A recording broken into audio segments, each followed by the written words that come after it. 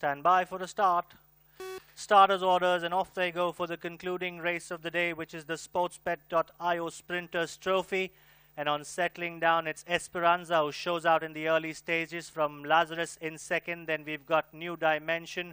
On the outside comes Nolan, followed there by Misty. And then we've got Superimpose as they're closely bunched up, crossing the 800. Heading towards the 600 now, it's Esperanza about a length in front of Lazarus in second. On the outside comes Nolan, followed there by New Dimension. Then we've got Superimpose. Misty is the back marker as they swing around the corner and enter into the home straight.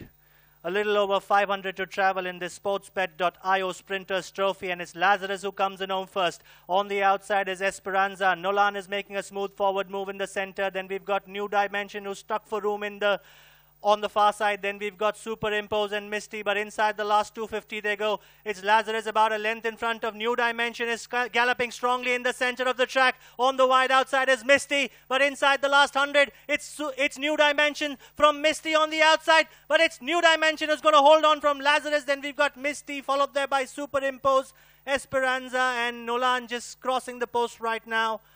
So what a win here for New Dimension.